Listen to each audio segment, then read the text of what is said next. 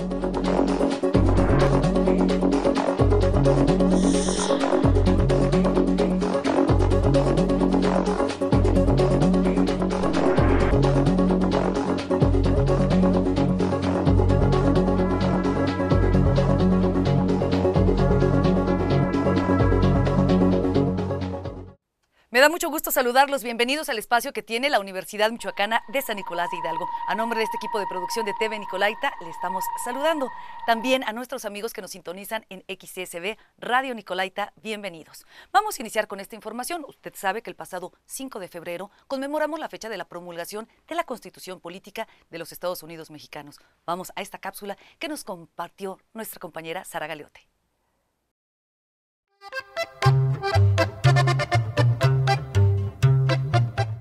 El 5 de febrero es un día festivo en México para conmemorar la aprobación de la Constitución mexicana por el Congreso en 1917. Es de recordar que en 1910 se inicia el movimiento armado de la Revolución Mexicana a causa de las condiciones sociales, económicas y políticas generadas por la permanencia de Porfirio Díaz en el poder por más de 30 años. Este movimiento es justamente el contexto en el que se promulga la Constitución que se rige en México hasta la fecha, por lo que el 5 de febrero de 1917 se promulgó la Carta Magna vigente. La Constitución Política de los Estados Unidos Mexicanos fue proclamada por Venustiano Carranza y entró en vigor el 1 de mayo de 1917. Esta nueva constitución se inspiraba en ideales de libertad individual y democracia política. De esta manera, México quedó instituido como una república democrática y federal y se garantizaron los derechos básicos de los ciudadanos, como lo es el derecho al voto, la posesión de tierras, la igualdad ante la ley y el derecho de amparo contra abusos de autoridad. En la Constitución, como ley fundamental de un país, están definidos los derechos, libertades y deberes que tenemos como mexicanos, además de los derechos y obligaciones que corresponden a los poderes de la Unión y a los estados que integran la Federación.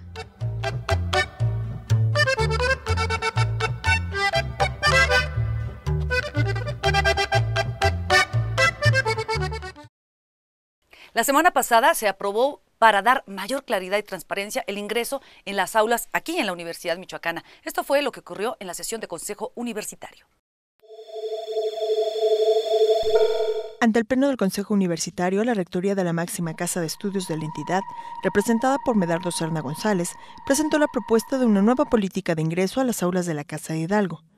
Con ello, se pretende dar mayor claridad y transparencia al proceso de admisión, así como generar condiciones para acompañar académicamente a los aspirantes para evitar deserciones, realizar exámenes por áreas del conocimiento y acercar estos a las regiones del Estado para evitar desplazamientos de los estudiantes hasta la capital michoacana.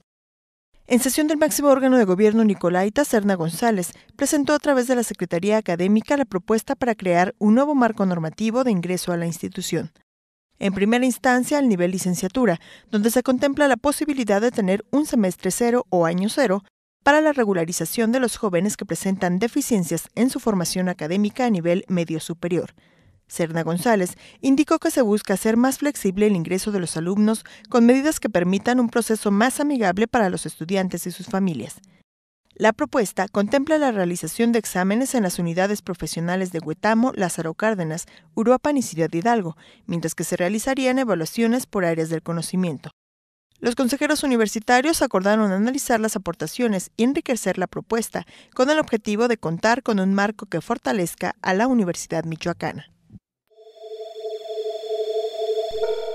Durante tres días, profesores de nivel medio superior se actualizaron en el área de química. Es importante iniciar una renovación académica y de valores para evaluar la calidad del nivel medio superior de la Casa de Hidalgo. Así lo manifestó el coordinador general de la División del Bachillerato Nicolaita, Martín Paz Hurtado. Esto al externar que es necesario iniciar un proceso de diálogo entre docentes y las siete preparatorias que tiene la Universidad Michoacana a efecto de acordar medidas que conlleven a una mejor calidad académica. Esto es lo que ocurrió y al final, al término de esta inauguración, el rector Nicolaita Medardo Serna dictó la conferencia magistral Química y Responsabilidad Social, factores claves para la sustentabilidad, así lo dijo. Lo que tiene que ver con la responsabilidad social se puede abordar de diferentes ámbitos. Algunos, casi todos nos olvidamos de las consecuencias de los impactos de nuestros actos. Y nos quedamos en una responsabilidad que trata únicamente de abordar el acto sin abordar los impactos y a veces sin abordar lo que está antes del acto, es decir, la libertad de elegir. Y cuando ponemos en su justa dimensión la libertad de elegir, casi siempre nos estamos presentando o actuando en un esquema de disyuntivas. Elijo esto y al elegir esto estoy renunciando a algo más. Pero pocas veces elegimos conscientemente, es decir, elijo esto porque las consecuencias van a ser estas o van a ser aquellas. Y son mejores para un servidor y son mejores para toda la comunidad. La Facultad de Arquitectura abre la segunda convocatoria para ingresar al programa de especialidad en restauración de sitios y monumentos. Esta es la información. La Universidad Michoacana de San Nicolás de Hidalgo, a través de la División de Estudios de Posgrado de la Facultad de Arquitectura, tiene abierta la convocatoria 2016 para ingresar al programa de especialidad en restauración de sitios y monumentos, reconocidos por el Programa Nacional de Posgrados de Calidad del CONACYT. El examen de admisión interno se llevará a cabo el jueves 24 de mayo a las 10 horas en la sala de especialidad de la División de Estudios de Posgrado, la realización de entrevistas se llevará a cabo los días 18, 19 y 20 de mayo. La publicación de los candidatos y aceptados serán el 30 de junio. Para mayores informes en la Facultad de Arquitectura con la maestra Pilar Calderón en el edificio de la Coordinación de General de Posgrados de 10 a 14 horas o al correo electrónico pilarcs67 hotmail.com o con el teléfono 322-3500 extensión 4157 así como con la doctora Erika Elizabeth Pérez Musquiz, quien funge como coordinadora del programa de especialidad en restauración de sitios y monumentos a las extensiones 2084 y 2086. Es momento de hacer una pausa, es muy breve. Regresamos a los Nicolaitas.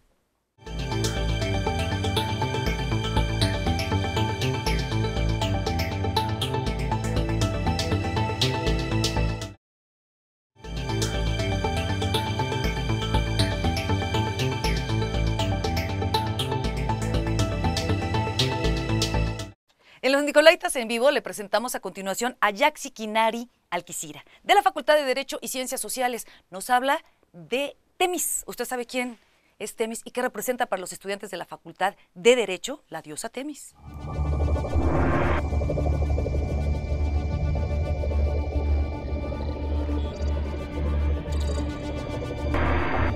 Hola, ¿qué tal? Mi nombre es Yaxi Quinaria Alquicira Vázquez. Soy alumna de la sección 05 del tercer año en la Facultad de Derecho y Ciencias Sociales de la Universidad Michoacana de San Nicolás de Hidalgo. El día de hoy quiero compartir con ustedes el significado de la diosa Temis, la cual se encuentra representada mediante esta escultura en el patio principal de nuestra Escuela de Derecho. En la antigua Grecia, la diosa Temis representaba la justicia, el buen consejo, la encarnación del orden, las leyes y las costumbres. Como características principales podemos ver que porta una balanza, una espada y que se encuentra vendada. La balanza simboliza que las partes deben estar en igualdad de circunstancias. La venda en los ojos es símbolo de la imparcialidad en la aplicación de justicia. La espada indica su capacidad de coerción para imponer las decisiones que se adoptan. Invito a todos ustedes a tomar los ideales de justicia en nuestra vida cotidiana para vivir así en una sociedad más armónica. Hoy más que nunca creo en mí. Soy Nicolaita.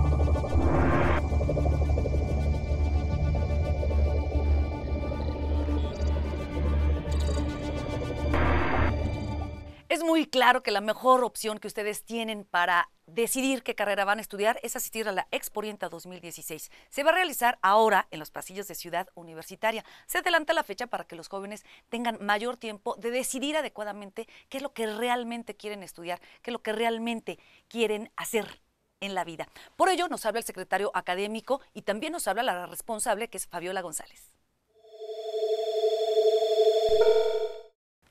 Sí, claro, esta vigésima cuarta edición de Exporienta tiene como finalidad difundir los programas educativos que oferta la Universidad Michoacana de San Nicolás de Hidalgo. Dentro de esos 39 programas que actualmente ya están habilitados y que son de diferentes áreas del conocimiento. La intención es hacerles una cordial invitación a nuestra universidad, al campus universitario en el cual será sede este 25, 26 y 27 de febrero, desde un horario de 9 de la mañana a 3 de la tarde en el cual, pues bueno, trataremos de interactuar con aquellos posibles aspirantes de los diferentes subsistemas al interior del Estado y fuera del Estado que quieran acompañarnos en el hecho de compartir con ellos cuáles son sus visiones, cuáles son las visiones de nuestros programas educativos, cuáles son esos perfiles de ingreso, cuáles son los campos de acción que tiene cada uno de estos programas y como futuros egresos que pudieran tener o como futuros profesionistas. Nos inquieta la parte de hacer una buena difusión, que los posibles alumnos que tengamos el próximo ciclo escolar vengan perfectamente perfilados y orientados al área de interés donde quisieran ingresar a esta Universidad Michoacana de San Nicolás de Hidalgo. Vamos a encontrar varias cosas nuevas. Una de las primordiales es que eh, esta exporienta universitaria se va a realizar ahora en las instalaciones de Ciudad Universitaria, por lo cual, como decía el secretario académico, nuestros posibles aspirantes van a poder tener contacto con eh, las facultades a las que van a ingresar, con las estructuras de nuestra eh, universidad. Además, van a haber talleres y conferencias continuamente en los edificios y van a estar organizadas por áreas de conocimiento. Eh, tenemos también la invitación de la Academia Michoacana de Ciencia que van a participar con nosotros para tratar de mejorar la elección en aquellas carreras orientadas a la ciencia. También eh, tenemos la participación de Bellas Artes porque también creemos que es un área a la cual eh, pues tenemos que fomentar el ingreso. Entonces tenemos varias cosas nuevas. Tenemos universidades, escuelas invitadas que también van a estar con nosotros para presentar la diversidad de oferta educativa que tenemos en el Estado. En otras cosas, quiero decirle que la Facultad de Psicología de la Universidad Michoacana invita a todos los estudiantes que hayan concluido ya los estudios la posibilidad de titularse por medio del examen EGEL-Ceneval. Esto tiene como fecha de aplicación el 11 de marzo. Esto es para todos los estudiantes que deseen eh, hacerlo de esta forma. Tenemos la página, es www.psicología.umich.mx. Es hasta el 11 de febrero. Quiero decirle, por otra parte, que esta semana la entrevista la hizo mi compañero Fernando Jaramillo. Él habla con el director del Departamento de Idiomas, Mauricio Montes, y nos platica sobre las convocatorias que oferta este departamento.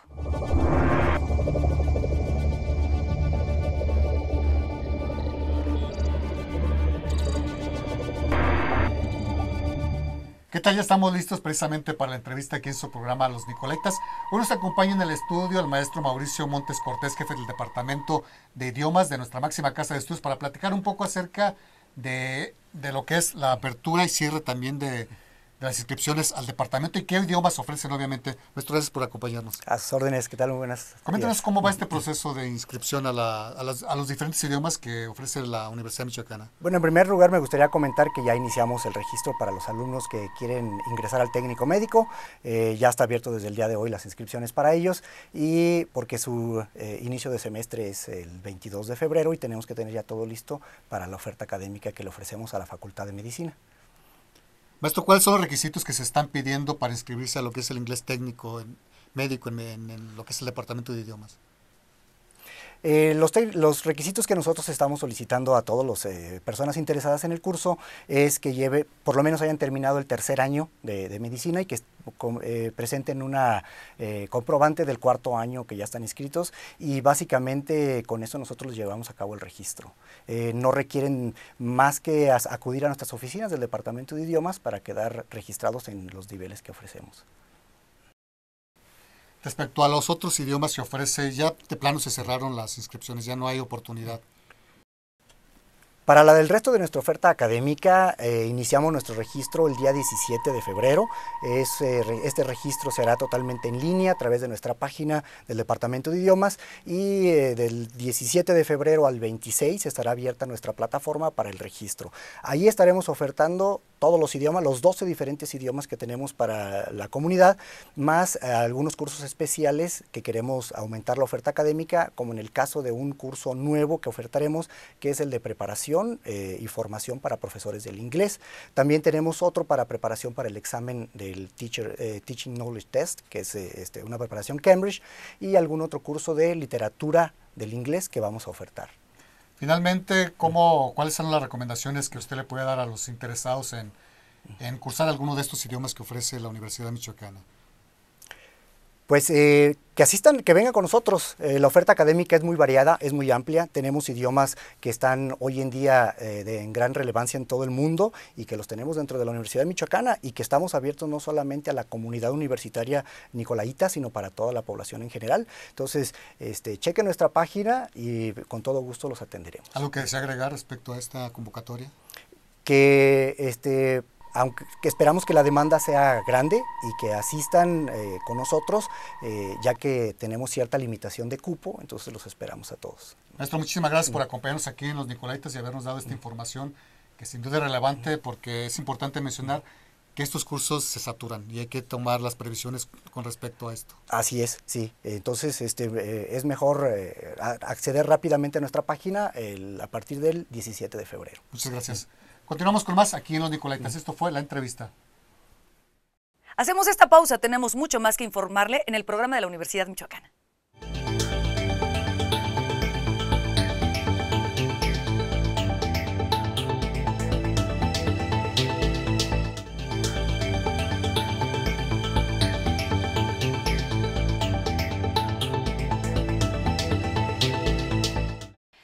De la sección Stand de Libros, aquí nos acompaña Héctor Álvarez Díaz, es responsable de la editorial universitaria y nos comparte el libro Generación del Desencanto.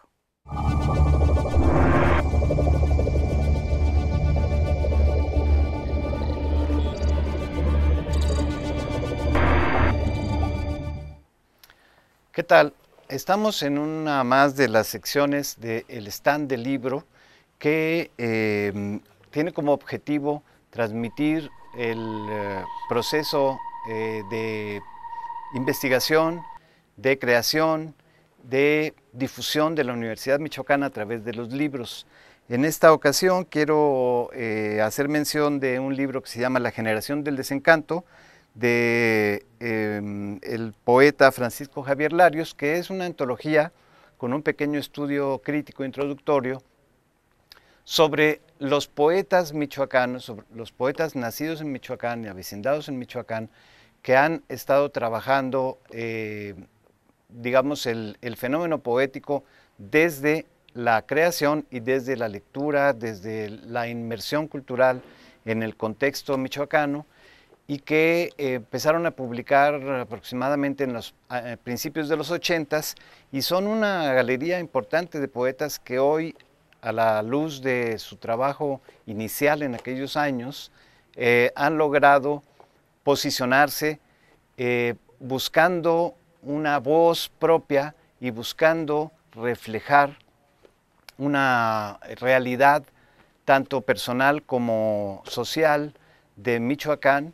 Y entonces el libro como tal, La generación de desencanto, está trabajado desde el punto de vista de cómo esta generación ha ido eh, creciendo poco a poco, cómo ha ido eh, aprendiendo su oficio, pero también la lectura eh, de su entorno cultural y social, y que nos refleja a todos los que vivimos en Michoacán de una u otra manera, porque los artistas tienen esta mirada y esta capacidad de transmitirnos un valor para mostrarnos y para leernos a nosotros mismos.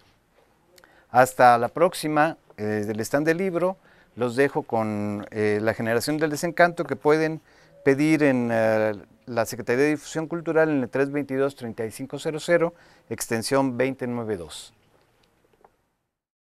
Los días 14 y 15 de abril se realiza el Simposio Nacional en materia de vehículos eléctricos. Aquí el doctor Norberto García Barriga es el coordinador del evento y nos da los detalles de esta convocatoria.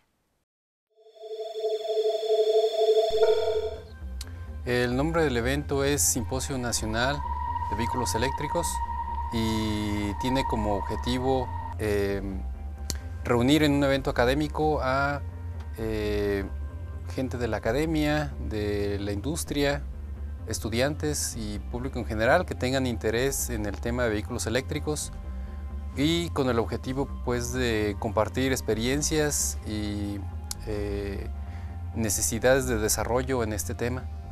Eh, la convocatoria está abierta y actualmente ya se están recibiendo eh, trabajos en la forma de artículos con una extensión de dos páginas y estos artículos se van a revisar por un comité técnico y eventualmente si cumplen con los requerimientos mínimos serán aceptados para presentarse como ponencias orales. Eh, actualmente ya está abierta también las inscripciones para los asistentes y eh, los estudiantes eh, que tengan interés en, asistir se pueden inscribir a partir del 15 de febrero. Eh, las personas que envíen sus artículos lo podrán hacer hasta el 4 de marzo. Tenemos ya habilitada una página web del evento que es www.zipnave.com y ahí hay información relacionada a las inscripciones y envío de artículos. Y información adicional ahí la pueden encontrar.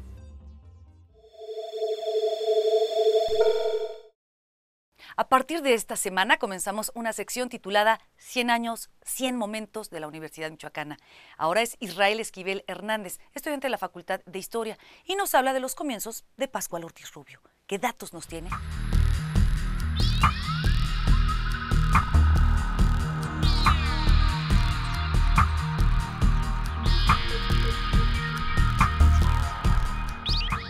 ¿Qué tal? Buenos días, los saludo con mucho gusto. Mi nombre es Israel Albino Esquivel Hernández, acompañándolos en esta nueva sección 100 años, 100 momentos de nuestra Universidad Michoacana de San Nicolás de Hidalgo rumbo al centenario. Y en este momento empezamos con el ingeniero Pascual Ortiz Rubio, quien nació en la ciudad de Morelia el 10 de marzo de 1877 y el 28 de mayo de 1917, el gobernador interino de Michoacán, el general José Reintería Lubiano, convocó a ciudadanos para elegir gobernador constitucional y diputados a la 36 legislatura y se presentaron cuatro candidatos, el ingeniero y, general Pascual Ortiz Rubio, el general Francisco J. Mújica, el general Antonio Magaña, el general Miguel de la Trinidad Regalado, Ortiz Rubio anhelaba la creación de una universidad en su estado. Con ese fin, se adentró a estudiar el modelo que mejor se identificaba con su ideología, el modelo norteamericano, claro. Ortiz Rubio tomó posesión del gobierno el 6 de agosto de 1917 y una semana más tarde envió al Congreso del Estado el proyecto para crear la universidad. El mandatario dio sus puntos de vista sobre temas importantes como lo que es la autonomía universitaria y la organización que pretendía darle a la Universidad Autónoma de Michoacán. Hubo trabas para parte de los diputados y legisladores, la falta de recursos en el Estado y anteponiendo que la creación de dicha universidad absorbería demasiados recursos con los cuales no se contaba. Finalmente, después de algún tiempo, se logra la aprobación de la universidad y se destina un fondo existente en la caja de la tesorería del Estado por 24.773 pesos garantizados con hipotecas con diversas fincas y que producía un interés por 500 mil pesos mensuales. El rancho de Cutzaro o Ecuaturillo en el distrito de Tacámbaro con un valor superior a los 40 mil pesos. El edificio del exconvento de San Francisco en Morelia la casa que ocupó el gobernador Mercado y que Ortiz Rubio no deseaba habilitar, decía pues parecía inmoral, ubicada en la calle Nacional, actual recinto del Congreso del Estado, con sus accesorios podría producir 500 pesos mensuales. A estos fondos, más de 100 mil, según la estimación del señor gobernador debían sumársele los 200 mil mensuales que gastaban en el sostenimiento de los planteles de instrucción superior, los cuales ahora formaban parte de la universidad. Finalmente, el 24 de diciembre se reunió por primera vez el Consejo Universitario bajo la presencia del doctor Oviedo Mota. Fue hasta el 30 de mayo de 1919 que el Congreso nombró rector al maestro de dibujo don José Jara Reintería. Pues bueno, me despido esperándolos en otra sección más. Hasta pronto.